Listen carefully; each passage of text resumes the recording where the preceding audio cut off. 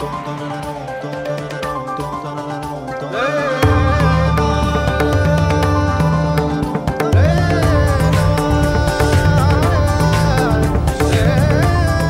है दूरदर्शन नेटवर्क और आप देख रहे हैं डीडी बिहार।